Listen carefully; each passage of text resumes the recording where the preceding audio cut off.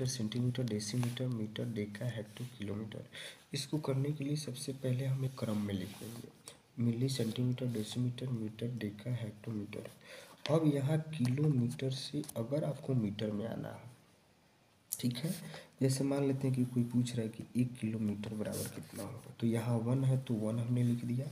एक स्टेप हम नीचे आए हैं तो वन टेन से मल्टीप्लाई करेंगे। यानी टेन हेक्टोमीटर बराबर जो होगा वह आपका एक किलोमीटर होगा।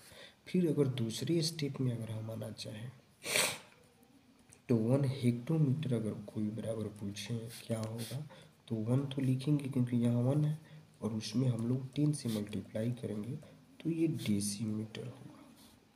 एक हेक्टोमीटर बराबर होता है, वन है तो one one into ten deca metre हो जाएगा। फिर अगर डेका मीटर से मीटर में आएगा तो एक स्टेप आएँगे तो टेन से मल्टीप्लाई करेंगे।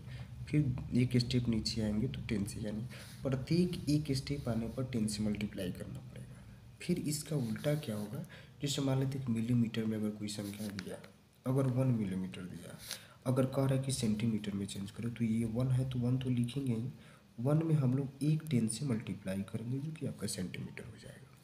फिर अगर यहाँ पे वन सेंटीमीटर दिया है, अगर कह रहा है कि डेसीमीटर में चेंज करें तो वन तो लेंगे, लेकिन इतना टेन कर देंगे और ये आपका डेसीमीटर होगा।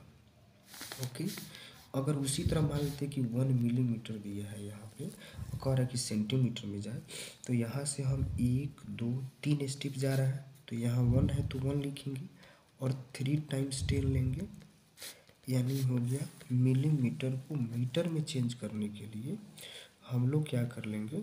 यहाँ वन थाउज़ेंड से हम डिवाइड करेंगे तो वो आपका मीटर में होगा।